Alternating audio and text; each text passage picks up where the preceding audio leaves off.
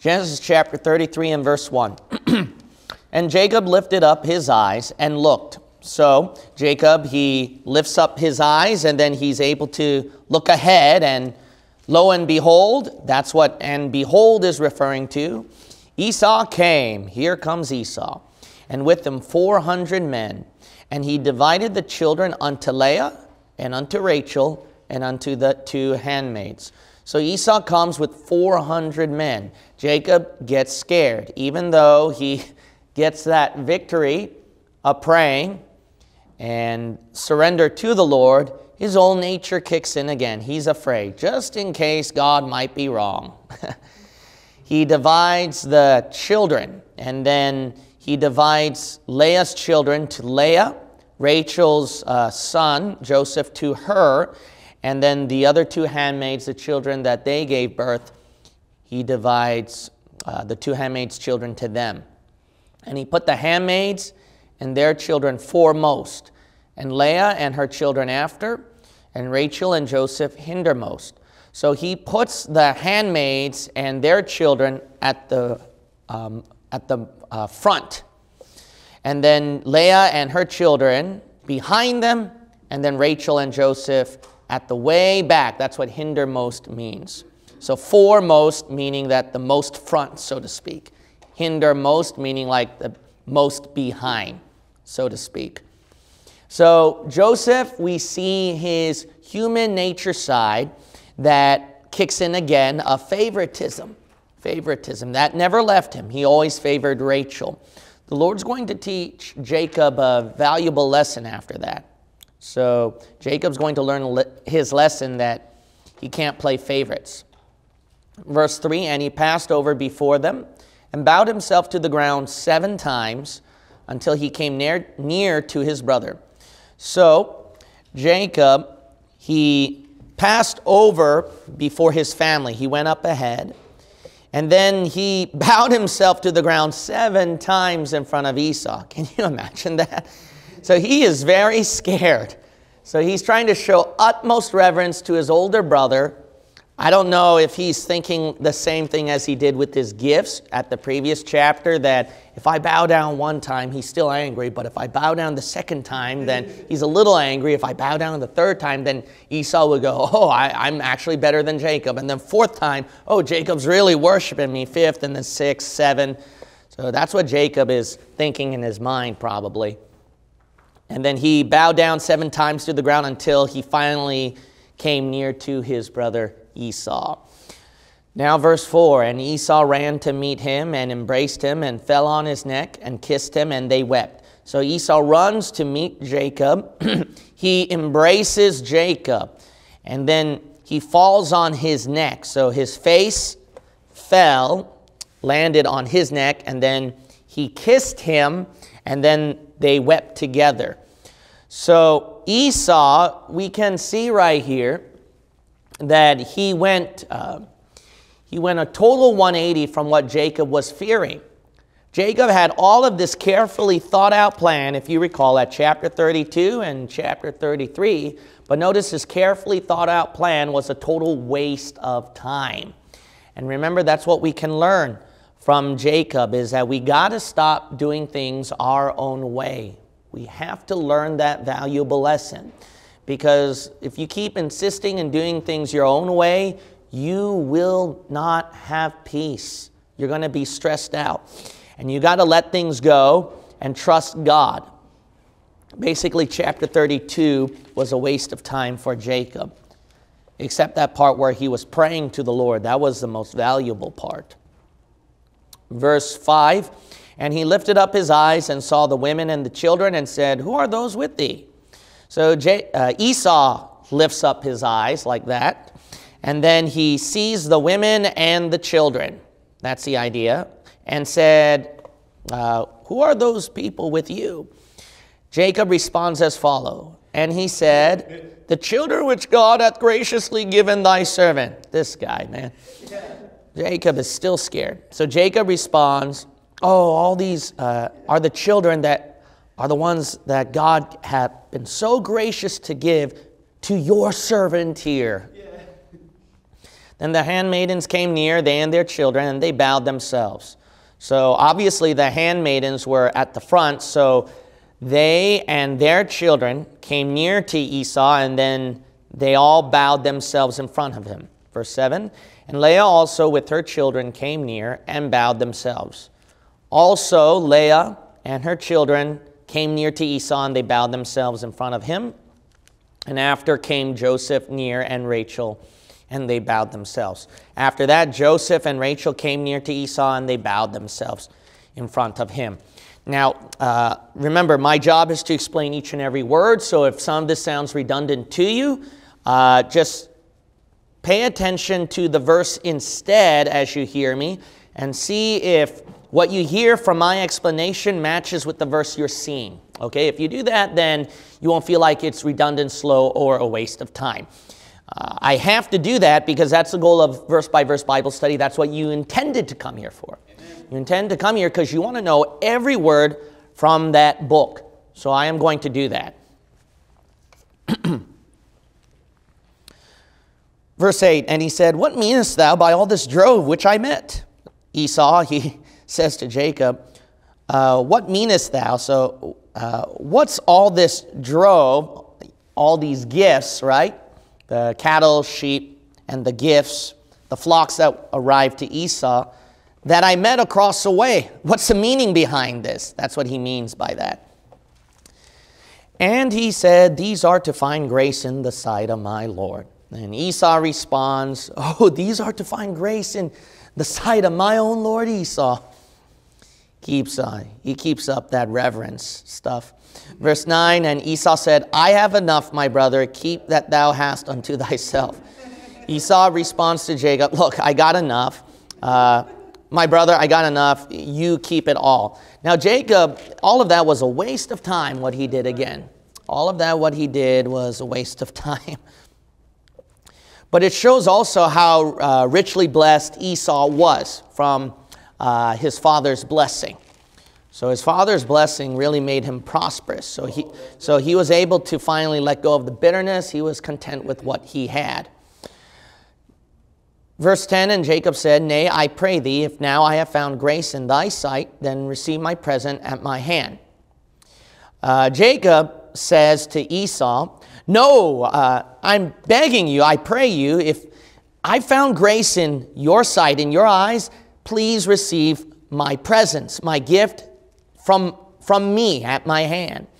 For therefore I have seen thy face as though I had seen the face of God. Just stop, man. Just stop. He's kissing his butt, man. Oh, Why receive this gift at my hand? Because I've seen your face as if I saw the face of God Himself. And that was pleased with me, and you were pleased with me. Take, I pray thee, my blessing that is brought to thee, because God hath dealt graciously with me. Please take, I'm begging you, my blessing, Jacob's blessing, that is given to you because God's the one that dealt graciously with me. He gave me all this blessing, and I want to give it to you. And because I have enough. Uh, so, actually, uh, right here, Jacob says, Because I have enough, please take it. Please take it. I got, I'm the one that has enough. You should have more. And he urged him, and he took it. So Jacob urged Esau, and then Esau eventually took it. If there's one thing uh, you learn about Esau, so I wrote some of this out, that way we can follow along this story. We first saw how Jacob greeted Esau. He was just kissing his tail, kissing his feet, you know, because he was totally scared, and God just uh, went against his fears every single time, his plans every single time. Jacob still won't learn. Verse 8 through 11, Esau, notice right here, he never rejected an offer, a deal.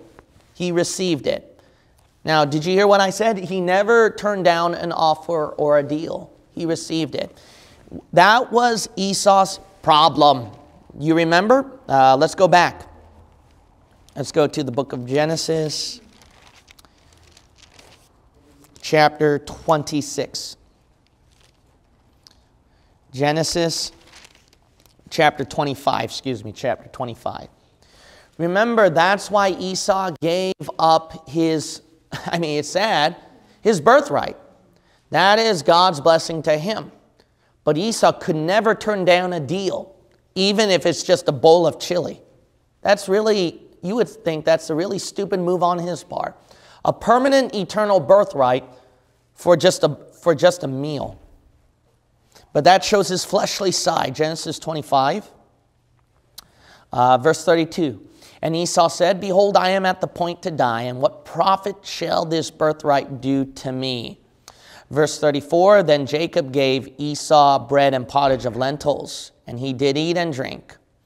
Uh, the last part, thus Esau despised his birthright.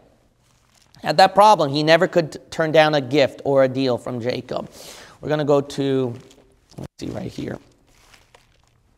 But if you recall the passage from Hebrews, uh, Esau, the Bible says, was a very fleshly character. He was basically, they put him in line with fornication. Even though we don't see the actual sin right here of fornication, but the idea is he was a very fleshly person. He can never leave that. He always had to have a gift in his hand. That's why, even though he supposedly uh, tried to repent carefully with tears, the Bible said that uh, his repentance didn't count because it wasn't actual repentance. Uh, remember, I told you that repentance is not something hard to do. But the reason why Esau's repentance did not count is because he was a very fleshly person.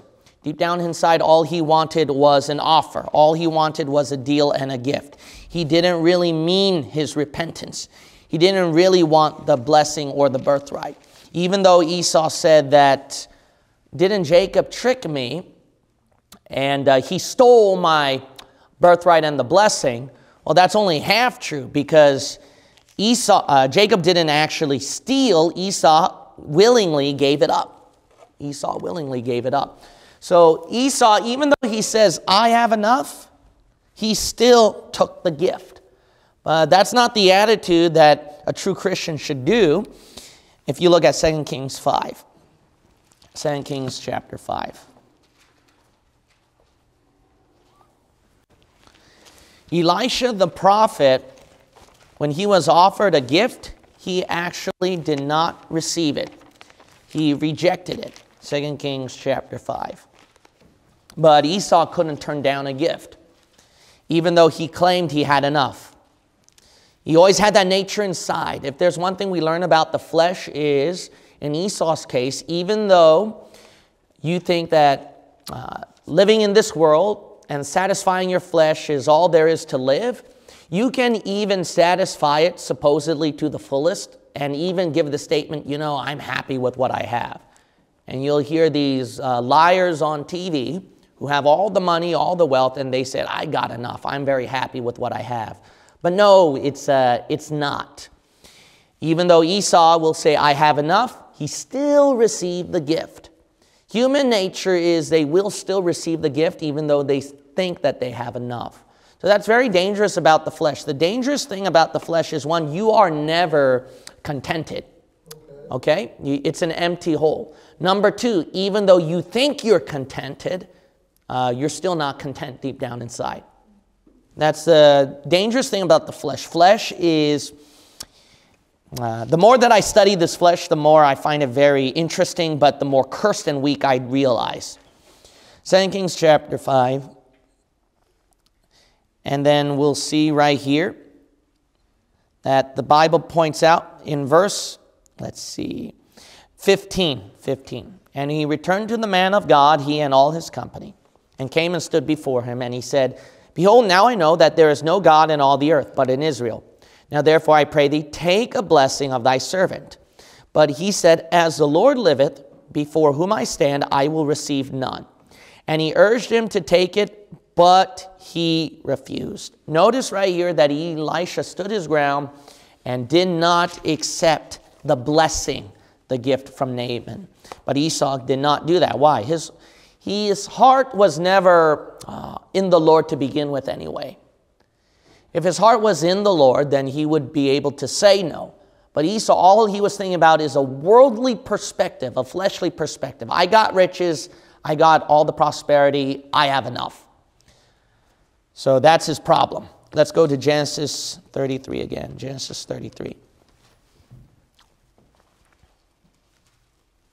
Dr. Ruckman said right here that Esau is the first man in the Bible to say, I have enough. So that's kind of interesting. A fleshly man would be the one to give that statement, I have enough. But as we've seen in the book of Hebrews, he's a lost man who went to hell. It's very sad. Lost man who went to hell. The world might think they even have enough, even though that's not really true. To be quite honest, they never have enough. But even the rare chance it does happen where the person says, I have enough, deep down inside it isn't. They go to hell at the end, they lose it all. That's why Jesus said, What shall it profit a man if he should gain the whole world? See, even if you have enough of all the world, but lose his own soul. Let's go right here at Genesis 33 and then verse 12. And he said, Let us take our journey and let us go, and I will go before thee. So Esau says to Jacob, Hey, let's take our journey. Let's, all, let's both go together, and I'm going to go in front of you and lead the way. Verse 13, and he said unto him, My Lord knoweth that the children are tender. So Jacob, he responds to Esau. Now notice this response. He says, he calls Esau my Lord, and he says, You know that the children that I have, they're very tender. So they're not strong, they're not fit and the flocks and herds with young are with me. So I got flocks and herds as well, as well as the young children. So I got to be gentle. They're all tender. They're not fit. They're not like grown men where they can make the journey, catch up to your speed. And if men should overdrive them, one day all the flock will die. He says, if you and your foot soldiers here, your men, uh, all in one day, you just uh, drive them over. That's the idea. You go on overdrive, right? So you don't need a plainer English translation than that. If you over, put them on overdrive all in one day, then all the flock will die. Jacob still fears his brother Esau, and he never fixed his lying attitude. So Jacob had no intention to go with Esau, you're going to find out at the end of the chapter. He instead lies to his older brother again and uh, tries to go to a different direction. He should have trusted God, but instead of trusting God, he just lied in front of his brother's face and tricked him again. I mean, it's a wonder Esau didn't kill Jacob, you know? I mean, this guy just keeps lying. Let's keep reading here. Verse 14 Let my Lord, I pray thee, pass over before his servant, and I will lead on softly, according as the cattle that goeth before me.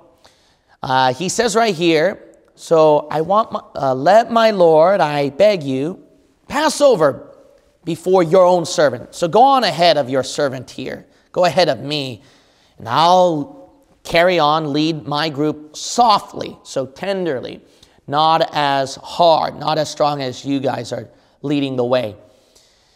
I'm going to lead softly according as the cattle that goeth before me and the children be able to endure. He says, I'm going to basically lead my group softly at the pace of the cattle that are uh, going in front of me and the, how much the children are able to tolerate, they're able to put up with. Until I come unto my Lord, unto Seir. So I'm going to carry on at this soft pace, this slow pace, until uh, I meet my Lord, you Esau, at the location of Seir. Seir is the place where Esau lives. So Jacob insists that he's going to go at that pace. Verse 15, and Esau said, Let me now leave with thee some of the folk that are with me. Now Esau, he just uh, he's just overjoyed to see Jacob. All he wants is his younger brother to be with him. So he says, uh, I'm going to leave some of my uh, folk, I'm going to leave some of my men to be with you, to help you out. But then uh, Jacob says, And he said, What needeth it? Let me find grace in the sight of my Lord. Jacob says, There's no need of it. Well, what's the need for it? Uh, please let me find grace in your eyes in my sight and grant my request. Let me just go by this pace. Uh, boy. Verse 16. So Esau returned that day on his way unto Seir. So Esau at that same day, he returned on his way back to his home in Seir. And Jacob journeyed to Succoth, so he went a different direction, and built him an house and made booths for his cattle. So he went to a different uh, direction called Succoth, and then he built himself a house, and then he made booths for his cattle to take care of them. Therefore, the name of the place is called Succoth. So, because of the booths that he made for his cattle, that's why he called the name of that place Succoth. So that's what it means. It means booths, actually. So I think the Jews, they have a feast that is similar to that name, Sukkot or Succoth, something like that. That's why he was able to give that name. To explain the direction of how Jacob was traveling will be as follows. So I got a map over here. I'm going to draw a little mini map. So remember, he's coming from Syria, okay? Which is Padanaram. Remember the uh, city name that he came out of? So, Padanaram. I'm assuming they can read all of that. Uh, it's a long ways, okay? But because this map is uh, so small, I'm just going to make it shorter, the distance. Catches up to Gilead. If you recall, that's uh, Laban uh, meets Jacob. Then we carry on to Peniel. Now, Peniel right here is where Jacob, he was uh, wrestling uh, with the angel of the Lord. He got some things right with God. Now, some of you might be wondering, where is Edom then? Where is Seir? So Mount Seir is actually further south of that Dead Sea. So if I draw the Dead Sea, then you'll kind of get an idea. So it will go up to, let's see right here, the Jordan River, and then Peniel, and then right here is the Sea of Galilee. So the Dead Sea is right here. Peniel and Gilead is that way. It's like a little bit north toward the east side. Because remember, Syria is way east. It's pretty far away over there. So Gilead, Peniel. Then we come to the Dead Sea over here. And then Mount Seir is south of Israel. So it's located here.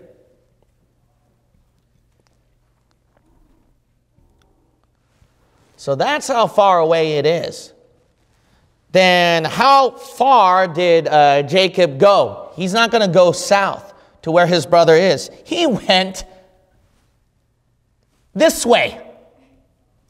He's going opposite. So he's so here goes Jacob. He's going south originally. Then his brother catches up to him. So then Jacob got scared. So he if Esau didn't meet him, Jacob would have probably kept going south.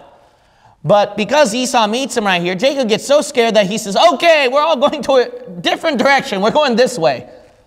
So he goes this direction, and that's where Succoth is. So he goes west. He goes west. Then Bethel is a little bit south over here.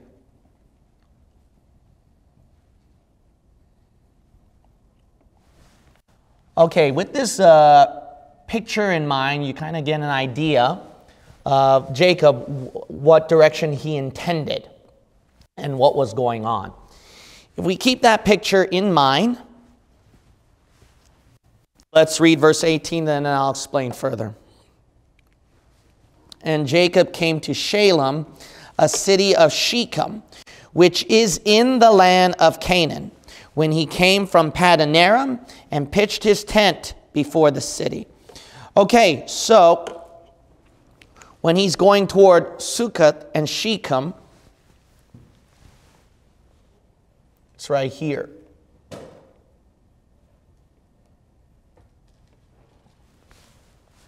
So it's within the same locality that he's going he goes to Shalem, which is Shechem's city.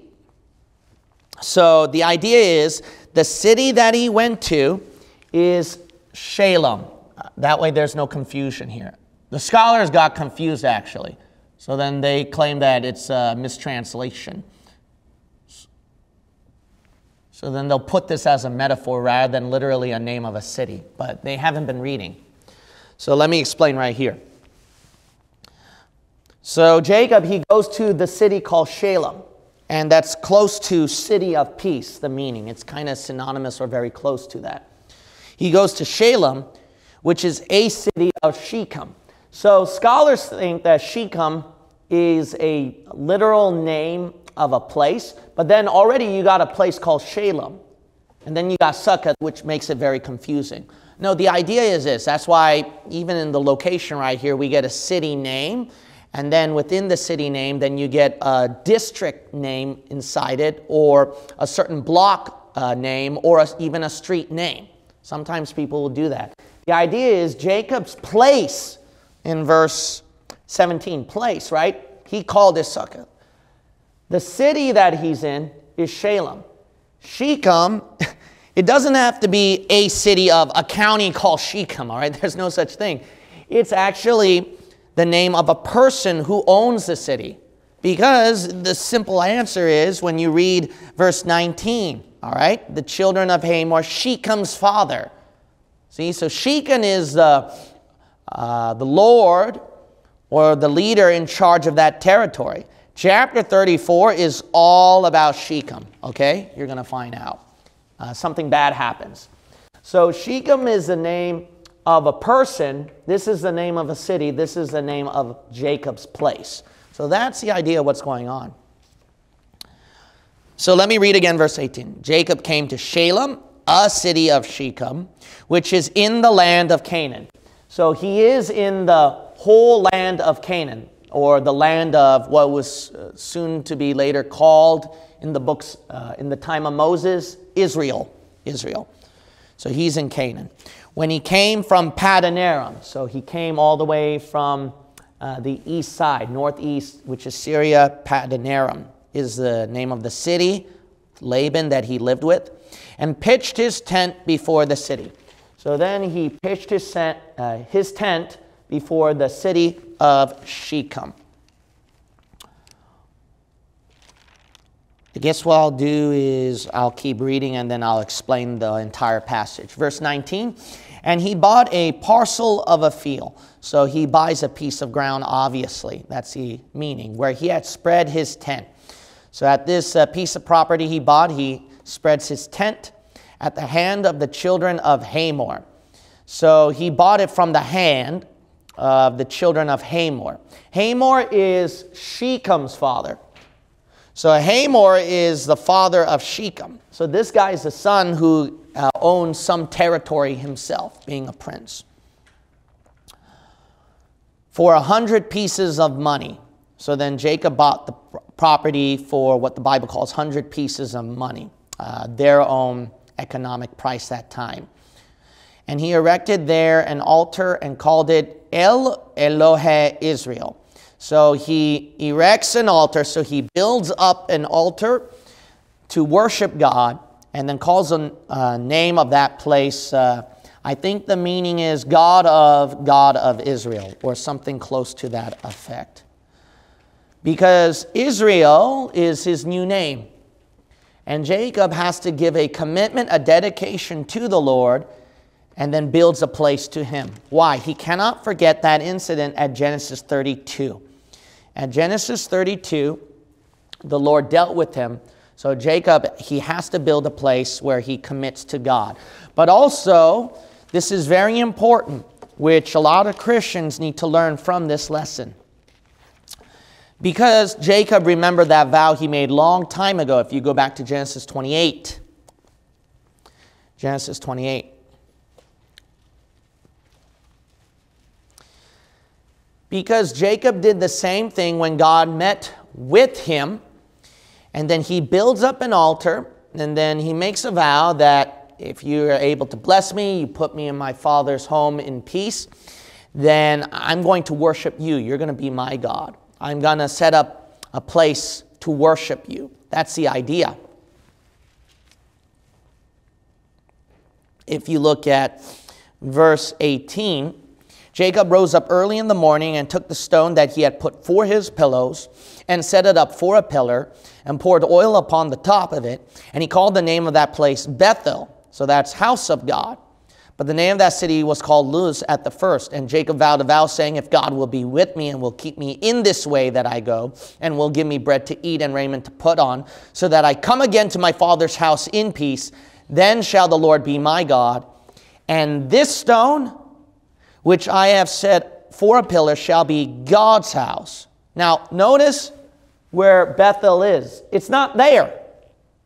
Bethel is here. Okay? Why? He's just afraid to go closer to where his older brother is. So he wants to get a little bit further north, far away as possible. Jacob made a vow back at Genesis 28. This stone, he built, he already set up uh, an altar, so to speak, or a monument over there. Okay? He already set it up right there. It was at Bethel. And he said, This stone this pillar, this will be the place where I worship you. Now that's what Jacob committed to the Lord. So then notice he there's no doubt he disobeyed God when he went toward this direction because he was afraid. Now the evidence that he disobeyed God and and the evidence Jacob set up a different place of worship is because the name the name he called it house of God at verse 19, right? Over here. He called it a house of God. But then right here, he calls it in chapter 33, verse 20, he, he would go, God of, God of Israel, you know. Why do you need to put like two G's over there, two gods over there? It's like this place is actually better. That's the idea. Why would he name it that way? Name it that way. So the house of it, uh, house of God is right here, but then he puts like the the God of God of Israel, or the house, uh, the God of God of Israel's house, right here. The, the naming is so weird how he would do that. So it makes it sound like that Jacob, he knows he's outside of God's will, but he's thinking, Lord, I'm going to make sure that this place is better for you. When I make my commitment to you, I can't follow up with my commitment to you. But, but you know, Lord, even though I am going on a different direction, my own choice and my own way of doing things, I'm going to make sure it'll bring you greater glory. Now, that's a lot with our Christian attitude in life, right? There's something that we make a commitment to God, and there's something that God expects from our lives. But we don't want to follow through that. We insist in going our own direction and our own way of doing things. But uh, because of that commitment we give to the Lord, we try to make up an excuse by saying, But Lord, I can serve you better in this one. And we follow up. We try to uh, put all our heart and soul into it. But the Lord said, That's not the deal that I made with you. It was right here. It was right here. Why are you going to a different route? Another evidence is chapter 35, verse 1. Notice that uh, God, he tells Jacob to go to Bethel and dwell there. So God says to Jacob, I want, uh, don't stay in Succoth. I want you to go to Bethel. And then you're going to live there. And verse 1, make there an altar unto God. See, so God wasn't pleased with this previous altar, that means. You'll notice that at uh, chapter 33, verse 20, when he built that altar, it never shows that God ever accepted that. God never accepted that. But if you look at uh, chapter 35 and then verse 1, that's where God wanted it. I want the altar to be built there. I want it to be built there at Bethel. Another thing that we notice why Jacob was certainly outside of God's will, and we can tell. Let's see right here.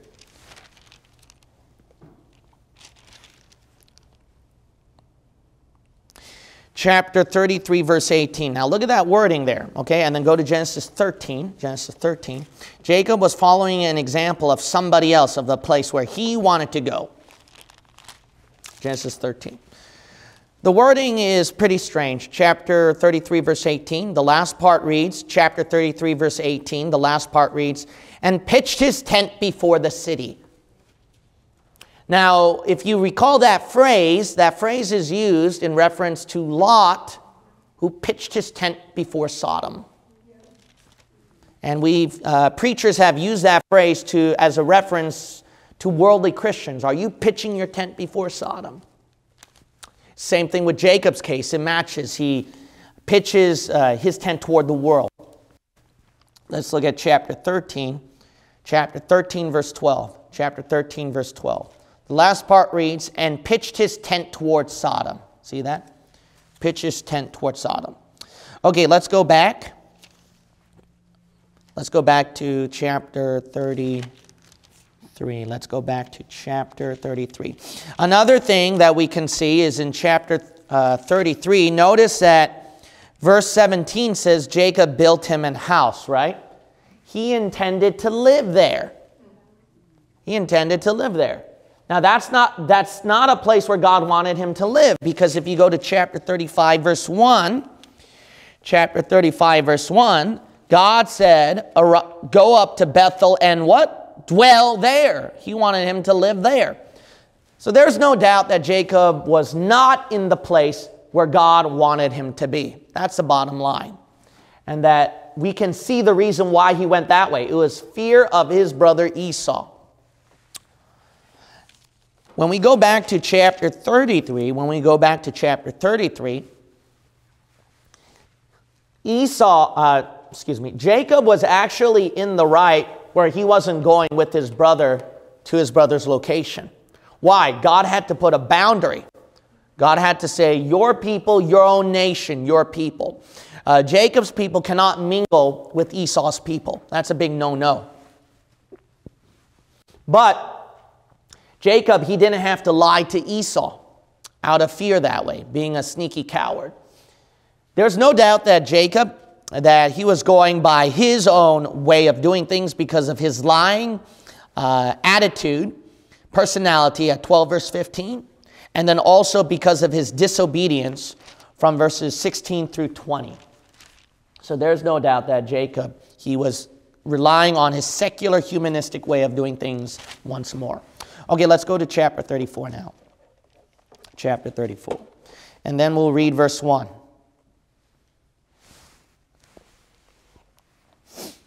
Jacob's decision is making him reap what he sowed. Chapter 34 is probably the best chapter, uh, probably not, not the best, but the most horrific chapter that proves Jacob truly reaped what he sowed. If you thought Laban's case was rough, if you thought um, his case with Esau was rough, or even later on the future, his case where uh, his own sons deceived him about Joseph was rough, believe it or not, this is probably the most horrific proof, chapter 34, that you truly reap what you sow. So Jacob would not, I mean, he did not repent. He had an experience with God at chapter 32. The most dangerous thing a Christian can do is after your experience with God and you still go to your own way of doing things, your humanistic ways, the price you're paying is going to be really big. It's going to be really big. And God don't have to do anything to be honest. God don't have to do anything. In this chapter, you don't see God involved one bit. It's just truly the case of you eat the fruit of your action because you thought this was the best way of doing things. So let's see if Jacob's plan going here was truly the best for him. That was the best for him, the best idea. I'm going to worship God even better right here. Well, let's see. Chapter 34, verse 1. And Dinah, the daughter of Leah, which she bare unto Jacob, went out to see the daughters of the land. So remember, Jacob has a daughter, for some of you who've forgotten her. Uh, Dinah, she was born from Leah. And uh, the verse says right here, it's self explanatory. Dinah is Leah's daughter, uh, and Leah was the one who gave birth, the one who bore Leah to Jacob. she went outside to just see all the daughters of the land, so all the other daughters within that territory. She wanted to make friends, explore the neighborhood, right? Uh, what harm can go into that? Uh, well, it'll make any parent not allow their daughter to go around the neighborhood and say hi to people when you read this chapter. Verse 2 And when Shechem, the son of Hamor, the Hivite prince of the country, saw her, he took her and lay with her and defiled her. So Shechem, the guy who's prince of that territory, he's the son of Hamor, and Hamor is a Hivite. So the Hivites, you're going to see uh, that uh, group of people mentioned several times throughout the books of Moses. They're a group of people that became Israel's enemies. So Shechem, who is uh, Hamor's son, he's the prince of the country. When he saw Dinah, then he took her and then uh, he lay with her and then he obviously defiled her. So he, it's pretty obvious from the text he raped her. Now, the disturbing thing is this the disturbing thing is I looked at the timeline and Dinah's age that time. Most scholars actually agree with this. Agree with this. But the exact age, if you want the exact age, then I'm going to show you something. Let's assume that uh, and timeline is, and Bible believers usually, usually go by Ussher's chronology. So if you have a Ruckman Reference Bible or a Scofield Reference Bible, it'll go by Ussher's chronology. You look at that date right there, right? It's BC what? 1739, right? Okay, then let's see when Dinah was born, okay? We're going to go to chapter 30. Chapter 30.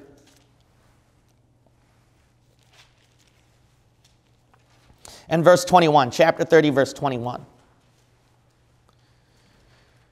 When you look at chapter 30 and verse uh, 21, and afterwards she bare a daughter and called her name Dinah.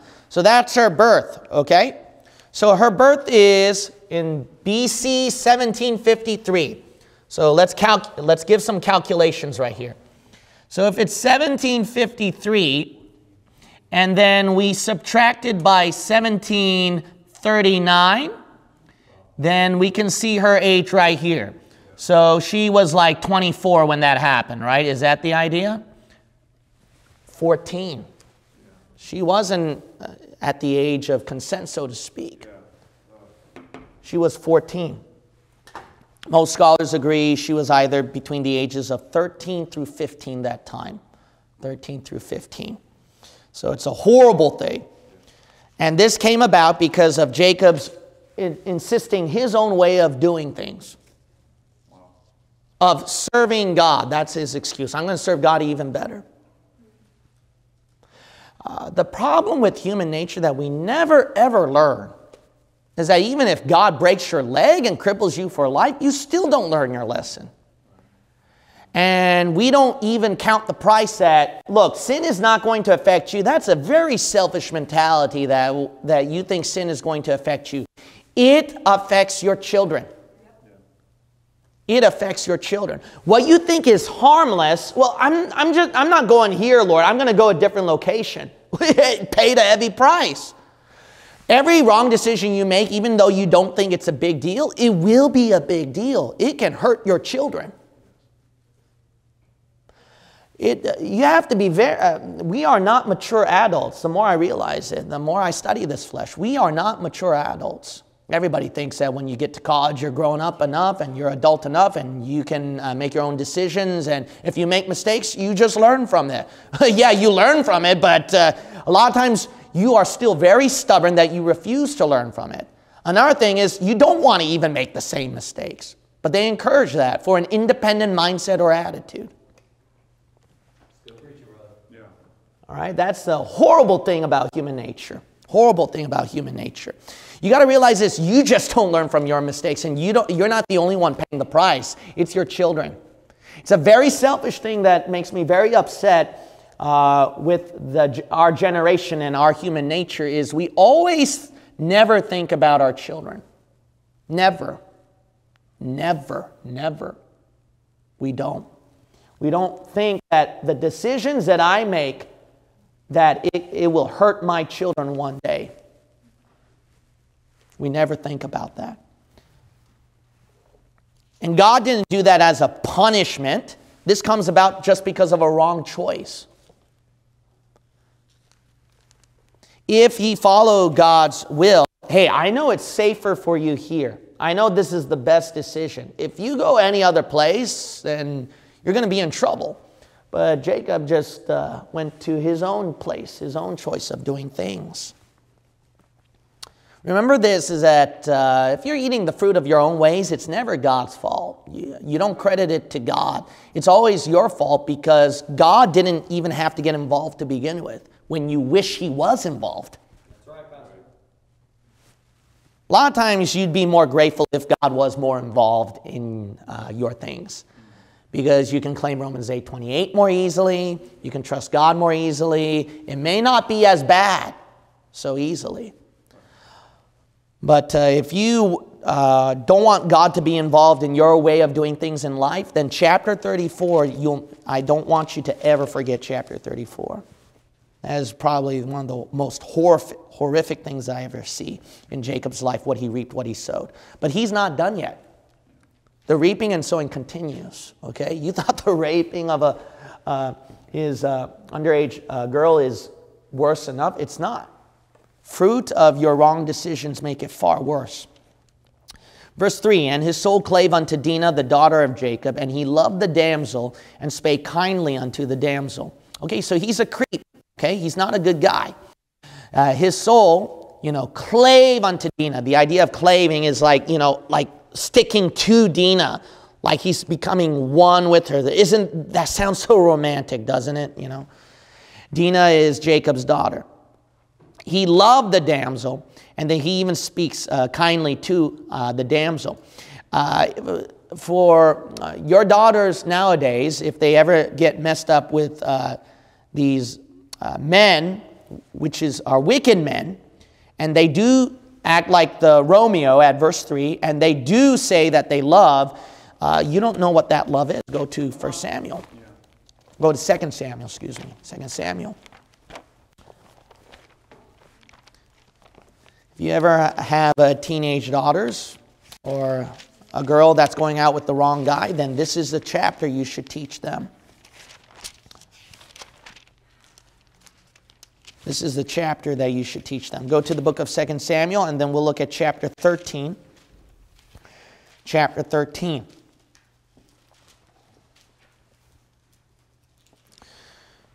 Notice right here that Amnon loved uh, Tamar.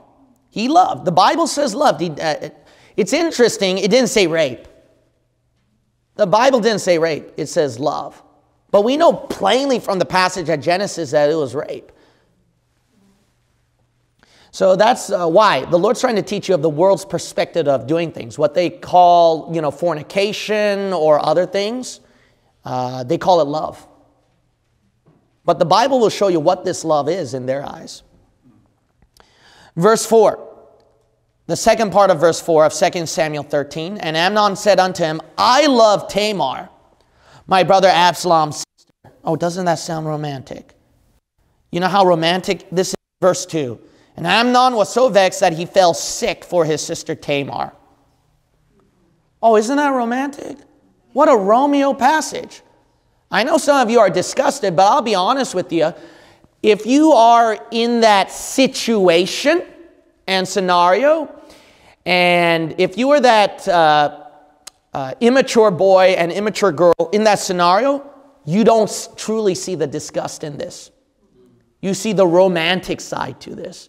The verse says, He fell sick for her. Oh, isn't that romantic? Now, look what the Bible shows right here. In your eyes, it seems like love and it's very romantic. But actually, the Bible will show you later, uh, later on, verse 15, verse 15. So he rapes Tamar. And after that, verse 15, just one night with her. Just one romantic night. Look at verse 15. Then Amnon hated her exceedingly, so that the hatred wherewith he hated her was greater than the love wherewith he had loved her. What, you know what the problem with this guy is? It's not that he truly loved her, he was fleshly. He was impulsive. That's the bottom line.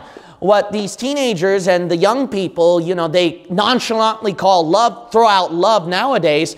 No, it's being impulsive, it's fleshly. That's the wickedness of sin. All right, let's go back to Genesis.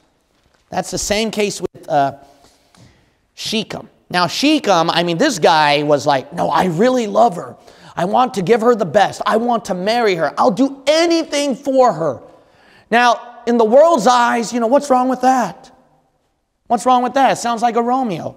But that's what that's the fruit of it of chapter 34. That's the fruit of it of chapter 34. Your children become like that because of a wrong decision you parents make.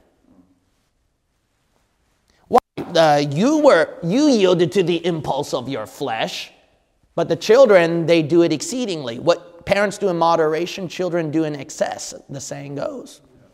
So they become so they. What happens is the impulsivity, the fleshliness is tenfold more than your own wrong decision of the flesh. Verse 4 And Shechem spake Hamor, saying, Get me this damsel to wife. So Shechem tells his dad, Hamor, Hey, I want this young girl, this damsel, this young virgin, uh, for my wife. Verse 5 And Jacob heard that he had defiled his daughter. Now his cattle in the field, and Jacob held his peace until they were come. So Jacob heard the news that uh, Shechem raped, corrupted his own daughter Dinah. And at that time, he and his boys were with the cattle out in the field. And Jacob, you know, he held his peace. In other words, he kept it all in. You know, he kept back his anger until Hamor and Shechem came to them. Uh, came to them. Verse 6, And Hamor, the father of Shechem, went out unto Jacob to commune with him. So Hamor, Shechem's dad, goes to Jacob to commune, to talk to him, make a deal. And the sons of Jacob came out of the field when they heard it. So when they, uh, so when Hamor talks to Jacob, Jacob's sons who are out in the field taking care of the cattle, they hear it. They hear what Hamor is saying to their dad Jacob. And the men were grieved, and they were very wroth because he had wrought folly in Israel in lying uh, with Jacob's daughter, which thing ought not to be done. You'll uh, notice right here that the boys, the sons of Jacob, at verse 7, they were very, uh, when they heard what Hamor is saying to Jacob, they were grieved inside. And then they were also very angry, wroth. That's, and then why? Because Shechem wrought folly. The idea is, is that he brought this folly. He brought this shame upon Israel in lying with uh, Jacob's daughter in lying with Dinah, which thing ought not to be done, which is basically common sense. This shouldn't even happen. This shouldn't even occur. But immature, premature attitudes nowadays from youth, they just condone any lifestyle now, even though common sense dictates it ought not to be done. You know what? this is actually even more messed up that I can't believe. If you the first mention of the land of Israel or Israel as a place is this verse, verse 7. What a way to start. The land of Israel is where my daughter got raped. It's said right here, verse 7, in Israel. Remember, Israel is Jacob's name. It was never called Israel to begin with. When Jacob started, can you believe that? When he chose his own location. From now on, this is the land of Israel, and I'm going to worship you, God, better than ever before. And that happened. What a way to start. What a way to start, isn't it? That's, that's horrifying. Chapter 34 is just one of those most horrific chapters that I ever read in the Bible. If you look at verse 8, and Hamor communed with them, saying, The soul of my son Shechem longeth for your daughter. I pray you give her him to wife. Hamor communes with uh, Jacob and his people. His boys are with his people. And he says to them, My son's soul, she, uh, Shechem, longs for your daughter. because he has to not just talk to the dad, because the dad represents the whole nation, the people of Israel, right? So he has to talk to all of them. And he refers to, he realizes it's not just Jacob's daughter, but basically all the nation's daughter. That's the idea. Your daughter. So I'm begging you, give uh, Dinah to Shechem as his wife. Verse 9, and making marriages with us, and give your daughters unto us and take our daughters unto you. There's no doubt Hamor is speaking to the entire community, not just Jacob alone, to his entire nation, because he makes this national dealing, so to speak. Uh, diplomatic relations, a man. Uh, what a horrible thing. He says, uh, I want, why don't you marry our people and then uh, give your daughters to us, and then we're going to take your daughters for ourselves too. Verse 10 And ye shall dwell with us and the land shall be before you. Dwell and trade ye therein, and get you possessions therein. Hamor offers them, hey, you, you can live with us. The land will be in front of you. You can, the land will be yours. Live here. Uh, make businesses right here. Start businesses in this area and get yourself possessions as well. So therein means in there, obviously. Uh, we will end it right here. We will end it right here. But the reaping and sowing continues. And I'm going to show you a little surprise of the reaping and sowing Jacob got was truly directly a consequence from his action, not just a coincidence or what God deliberately put. It is truly a follow up, a direct consequence of his own actions, which is why we have to be extremely careful with how we act nowadays because uh, secular lost people even believe with that when even if God doesn't exist, every action we make has consequences. Psychologists and uh, people who take care of children always say this that children take something after their parents. Every action has a consequence. Chapter 34 is a horrific result of that, and I will definitely prove that next Genesis study. Now, Father, I want to thank you so much for the truth of your word what we can glean, what we can read, what we can learn. Uh, even not just good stuff, but even the bad stuff, Heavenly Father, is important to be mentioned in the scripture so that we can learn such valuable lesson and not repeat such horrific consequences upon our lives. We pray all of this in Jesus' name. Amen.